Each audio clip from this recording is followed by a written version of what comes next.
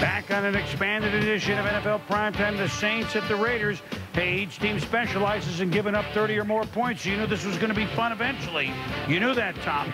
It didn't start that way. 9-0 Oakland under two minutes left in the half. Aaron Brooks to Jerome Pathon first down. Helmet to helmet on the Raiders. So naturally they're penalized. And then Brooks to Lamont Hall.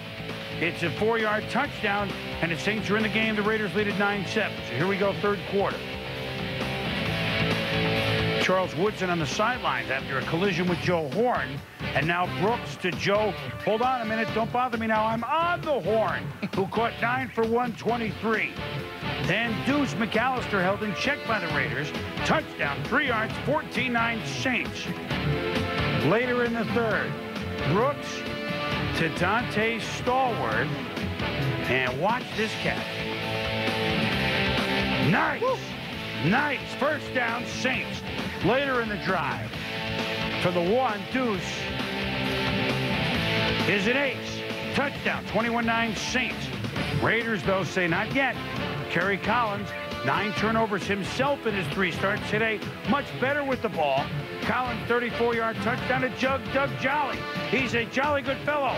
Touchdown, 21-16. Couple of field goals. Saints kickoff.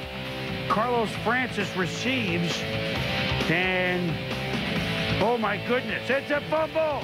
Colby Bockwoldt, touchdown. The fumble and the Saints turn it into six, 31-19. Raiders, not yet. Collins, Jerry Porter, two and a half to go, 31-26. 2.17 left. Brooks on third and seven. To Horn, big first down. That just about clenches it. And the Saints march into Oakland. And the Oakland Raiders fall to two and five. And so maybe everyone off Jim Haslett for just a little bit.